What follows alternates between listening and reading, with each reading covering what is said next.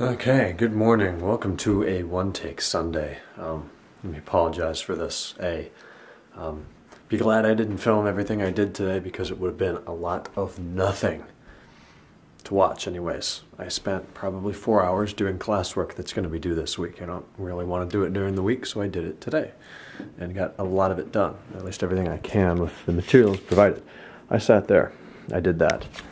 I watched a lot of YouTube videos, I did a lot of homework, I did a lot of emails. Then I watched Seinfeld and The Cleveland Show. Um, I had like four small meals today. Uh, Punxsutawney Phil saw his shadow. No shit, six more weeks of winter. I think they mean months. But yeah, that's no surprise.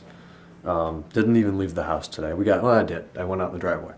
We had about two inches of snow overnight, so I took all that off with a shovel and did a nice job with it, so the driveway's clean. Um, aside from that, I mean, that's that's really it. So I'm going to go up and take a shower, pack my stuff up. We're going to hit tomorrow, get the classes done. I'm going to spend a lot of time in the garage, hopefully doing car work, which I will be making videos about and filming, if everything goes well. So tomorrow will be more interesting, I promise. At least I'll try. And it's supposed to be up in the 30s, uh, so it'll be a lot better than last week. Alright, that's it. Sorry for a one take. Leave me some comments with what you did today. It'll be fun. We'll liven things up in the comments. Alright, good night.